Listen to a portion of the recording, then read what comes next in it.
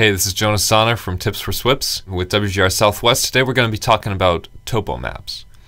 So, you can find your topo maps online. There are a bunch of different resources that you can use. The one I like using is mytopo.com.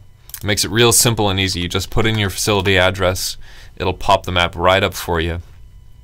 And you can see, you can do any address, um, and then you'll just go down to print from your computer. Going to hit portrait. I like using portrait. You can do landscape if you want. But I like doing portrait, and then it'll take you up to to this PDF printout page, and you see it has the north arrow and the scale and the size of the map for you.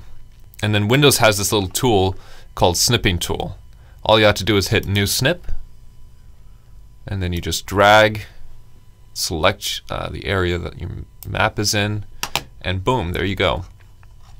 got your map there, you can just copy this and go and put it in your Word document or your SWPPP, whatever you're using. Um, just paste it in.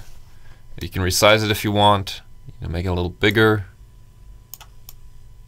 And then the other thing you're going to want to do is just add a text box and an arrow showing where your facility actually is on the map. Because if you just look at this by itself, you probably don't have any idea what you're looking at.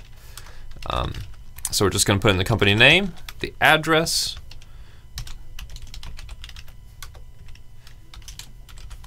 um, the city it's in, the state, and then I like put in the zip code. Okay, there you go. You can use whatever font or size text box you want. You can make it really pretty if you want.